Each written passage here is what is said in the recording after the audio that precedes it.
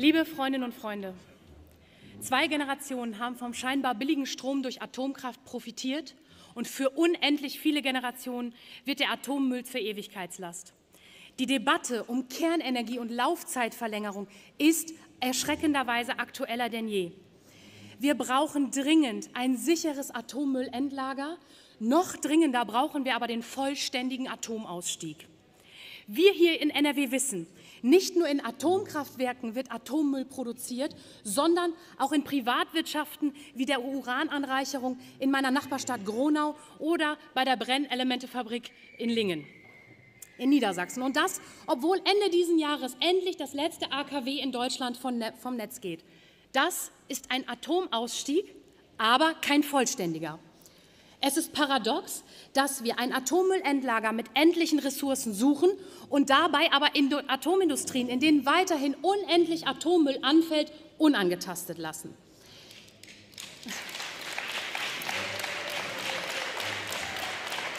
Die Urananreicherung in Gronau muss beendet werden und wir brauchen Transparenz über alle Atommülltransporte in Deutschland.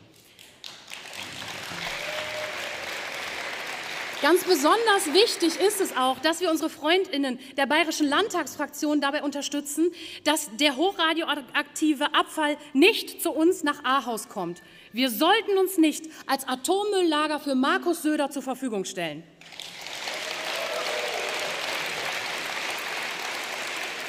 Denn sicher und das wisst ihr, ist bei Atomenergie nur eins, das Risiko. Und das kennt keine Landesgrenzen.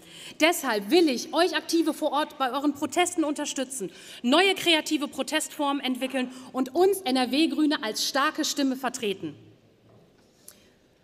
Politisch aktiv zu sein ist unsere Pflicht, aber es ist auch ein großartiges Privileg. Besonders wenn wir an die Menschen denken, denen politische Teilhabe nicht so einfach möglich ist. Und damit meine ich vor allen Dingen Kinder und Jugendliche. In meinem Beruf als Erzieherin in der stationären Jugendhilfe treffe ich immer wieder auf Kinder und Jugendliche, bei denen das System versagt hat, bei denen es der Gesellschaft nicht gelungen ist, sie zu schützen. Wir wissen, je ernster wir Kinder und Jugendliche nehmen, umso besser können wir sie unterstützen, befähigen und beteiligen. Großartig, dass das Wahlalter 16 im Koalitionsvertrag verankert ist, aber dabei darf nicht Schluss sein. Damit dürfen wir uns nicht begnügen. Ernst nehmen, wem die Zukunft gehört. Eins meiner Lieblingsplakate zur Kommunalwahl 2020. Ich mache mich stark für Kinder, Jugendliche, Frauen und Familien. Ich möchte mich maßgeblich dafür einsetzen, weitere Lösungen zu entwickeln, die die Beteiligung von Kindern und Jugendlichen noch weiter möglich macht und echten Kinderschutz ins Zentrum stellt. Politik ist das, was wir daraus machen.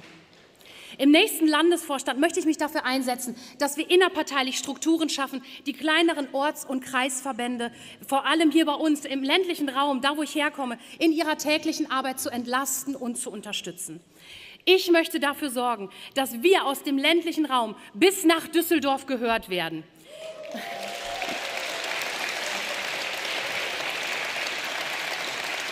Mir ist es wichtig, mir ist es wichtig, die Vereinbarkeit von Familie, Beruf und politischem Ehrenamt wieder mehr in den Mittelpunkt zu rücken und es so vor allen Dingen zum Beispiel mehr Frauen, insbesondere auf kommunaler Ebene, ermöglichen, selbst aktiv Politik zu gestalten.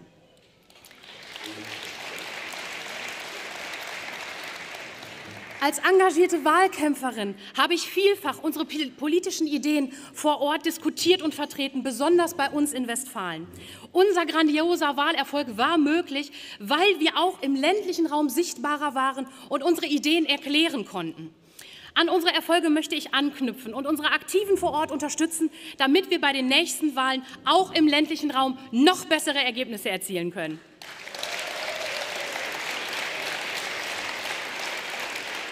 Grüne Politik ist eine Politik für Land und Stadt und wir bieten die nötigen Konzepte.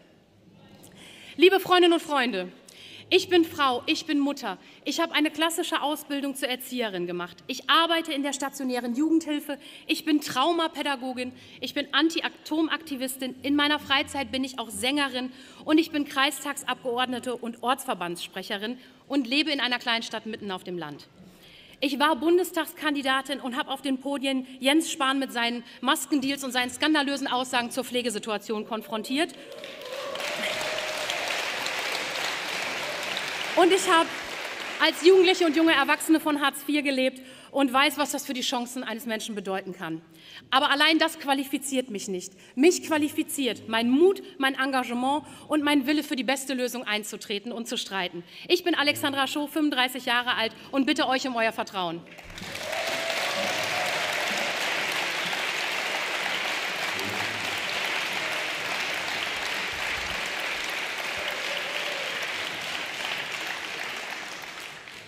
Vielen Dank, liebe Alexandra. Ähm, für dich liegt auch eine Frage vor, ähm, ebenfalls von Julia Woller aus dem KV Köln. Welches Potenzial zur Weiterentwicklung des Frauenstatuts siehst du? Worte möchte ich noch eins ganz Wichtiges sagen. Ich freue mich unglaublich, euch hier zu sehen. Dass wir uns in Live sehen, dass wir zusammen sind, äh, in echt, finde ich super. Das Frauenstatut ist elementar wichtig und zeichnet uns an vielen, vielen Stellen aus.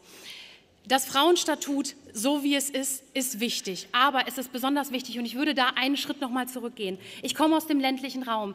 Ich bin Ortsverbandssprecherin und Kreistagsabgeordnete, nicht weil ich in meiner Freizeit sonst nichts zu tun habe, sondern weil bei uns häufig die Menschen fehlen und vor allen Dingen auch im ländlichen Raum wir immer wieder in der Situation stehen, dass wir auch mehr Frauen aktivieren müssen. Und da würde ich gerne viel mehr Fokus reinlegen, viel mehr Potenzial reinlegen, da Frauen anzusprechen, Strukturen zu schaffen, die politische Beteiligung möglich macht, damit wir da an der Stelle gut aufgestellt sind und die Arbeit auf viele, viele Schultern verteilen können und da zusammenstehen.